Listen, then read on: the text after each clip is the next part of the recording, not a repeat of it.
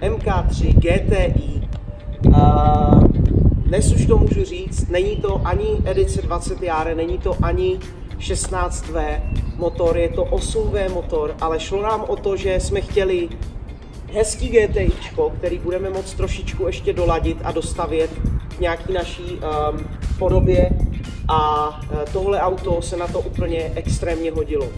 Má výbornou historii, je dovezený z Německa, pán si to dovezl z Německa sám, uh, má ofocený veškerý německý doklady, že to bylo po prvním majiteli a on byl druhý, takže my jsme třetí, že to auto má hezkou historii, nicméně nemusí to vůbec být pravda, ale ten stav je tak úžasný, má to nádherný Prahy, nikde není res, až na pátých dveřích.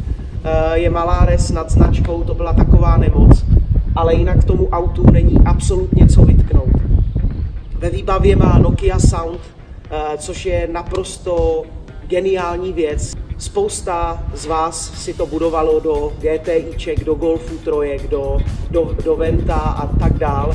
My už to tady máme, usnadnilo nám to spousta práce, protože bychom chtěli to audio, takže to už tady je. Hraje to nádherně, musím říct, že na to, že je to z 96. roku, tak to má úžasný sound, na který absolutně nepotřebuji chytat. Jediné, co změníme, tak je pár věcí. Um, určitě jste si všimli, že světla nejsou originál, ty budeme měnit. Možná, že ne za originál hela světla, ale určitě za něco jiného z té doby, co bude mít trošičku styl. Maska není originál GTI, to jste si určitě taky všimli. Budeme ji měnit na GTIčkovou i s tím GTIčkovým logem.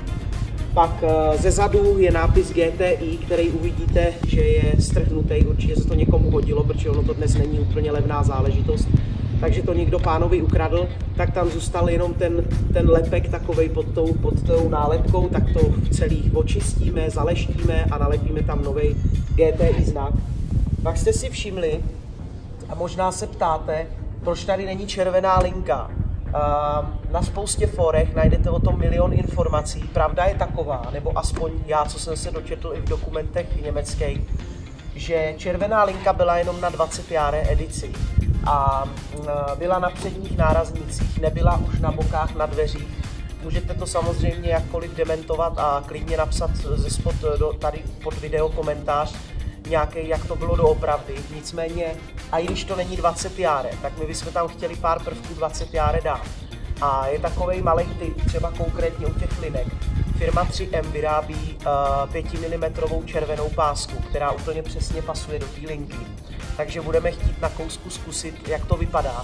A možná, že ten zadní uh, znak GTI, který je u, zadního, u zadní části auta v té plastové liště, tak uh, krásně si myslím, že tomu podpoří ta linka, takže ji tam asi dávat budeme.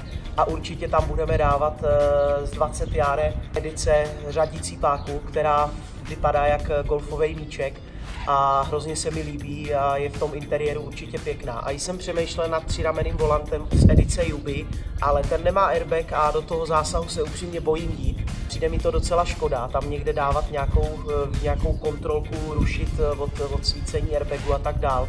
Takže to, to určitě dělat nebudem. A pro mě sice nesympatický čtyřramenný volant necháme jenom pošít, protože už si to zaslouží.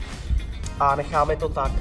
Interiér, stropnice, všechno bylo v tak nádherném stavu, že jsem hrozně rád, že jsme vám to zdokumentovali a můžete se na to podívat, protože víte, že tady tyhle ty golfy všeobecně trpí hodně na kvalitu stropnice a interiéru.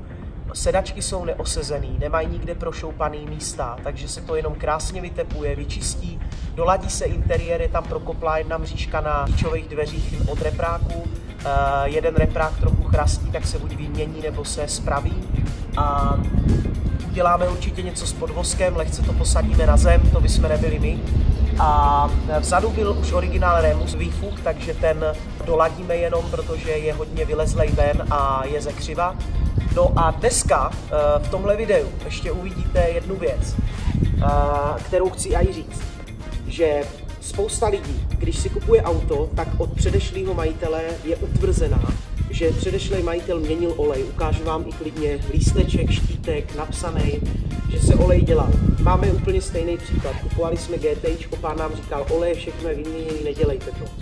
z naší zkušenosti jsme zažili tolikrát, že jsme tuhle věc přesně neudělali a uh, vznikly z toho strašné problémy. Takže já říkám jednu věc, když už si koupíte auto, z kterého chcete mít radost, tak si servis základní, jako jsou oleje, filtry, palivový, olejový, kabinový, vzduchový, všechny tyhle věci si udělejte sami, nebo aspoň buďte s někým, kdo to umí dělat a koukejte se mu pod ruce, že vám ty věci opravdu vymění, protože jsou, se v tom dělají hrozný podvody a lidi pak jezdí a přejíždějí olej a zbytečně si ničejí motor.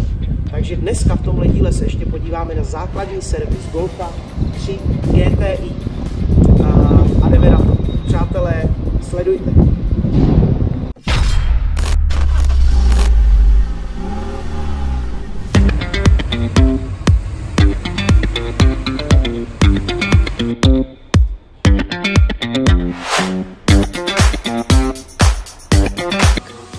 jsou dobroty pro našeho golfíčka.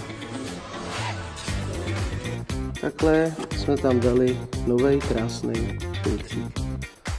Lup a vzduchač je za náma. Kabiňák vypadá, že je docela OK, ale zcela na rovinu je to otázka pár halířů, tak ho vyměníme. Samozřejmě to tam ještě obsajem. Vysajem to je taková základní naše tradice. To vysavačem vždycky obsajem a, a pak to vracíme zpátky. A samozřejmě s tím se pojí i dezinfekce, klimatizace, je tak? Drátky, ole. Tady bylo vidět, jak...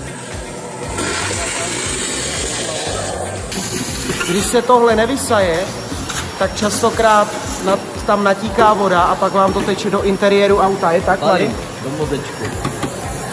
Řídící jednotka. No, do té řídící jednotky přeplňuje se vám tam voda z deště, takže je hrozně dobrý jednou za čas to rozdělat, kouknout na to, obsat to listí, který tam padá, všechen ten bordel a dát tam nový kabiňák prostě. Když jsme jeli z Prahy s golfákem, tak nám přišlo, že docela dost hážou pneumatiky. Je možný, že to je stářím, už upřímně nevím, ale uh, jdem to zvážit a mrknout se, kolik kola mají. Teď to roztáčím.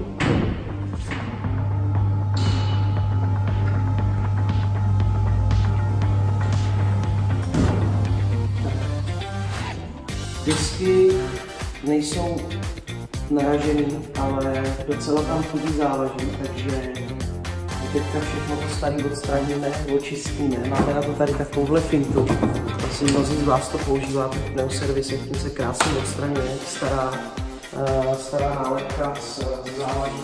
Odstraníme, očistíme to hezky a dovážíme ty kola znova do nuly. Asi už to dlouho nikdo nedělá. Očištěný kolo máme, záleží všechno. No, ne vždycky, ale na poprvé by to mělo být nula. Je tam ještě dobrá. Jsme na nule. Kola jsou ready. Tak to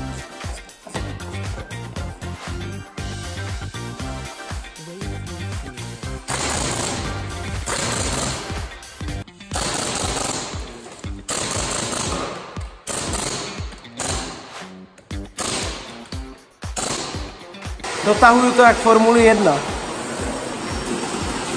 Tak jdem se kouknout ještě na rozvody. V jakém soustavu. Tam. Vy to asi takhle nepoznáte, ale Gumový. musíme černý. se podívat, aby se nám náhodou ten motoreček nepotkal.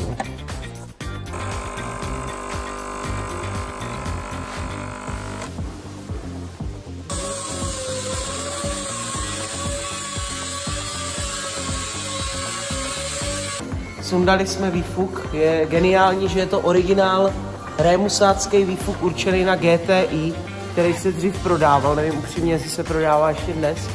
Museli jsme ho sesadit, dát ho pryč z dvou důvodů. Ta první je, nevím, jestli to jde dobře vidět, ale je prasklej.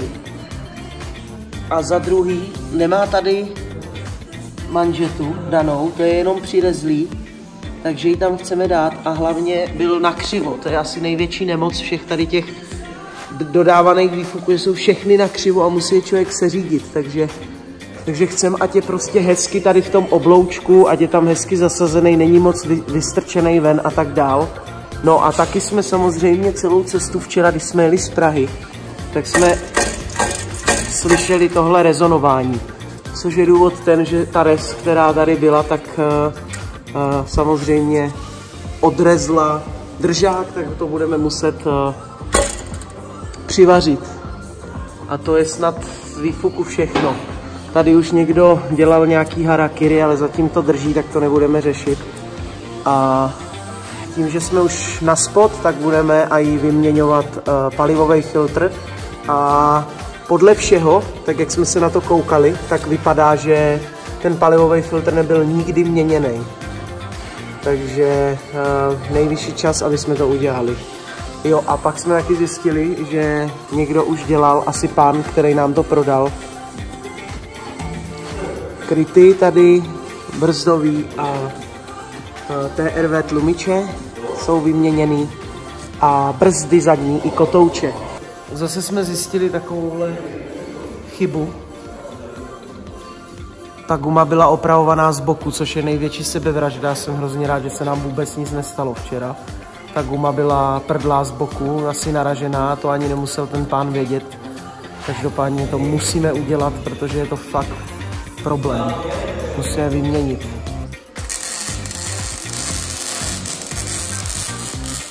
No, a už je rovnej. Mazle. Tak, no a dostáváme se k paliváku. Je to teda trochu porod, ty staré šrouby. Prostříkat, odrzít, dát sponky pryč. Ale bude to. Máme tady krásný nový palivák, dávejte si vždycky pozor, jak ho tam dáte. Takže když ho nedáte ve směru, jak teče palivo, tak to co?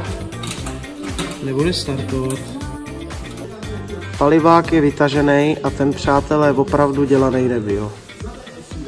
Tady je už daný nový, nový sponky, všechno, zatáhneme to a bude to jak nový. A dnešním dnem končíme. To je vše.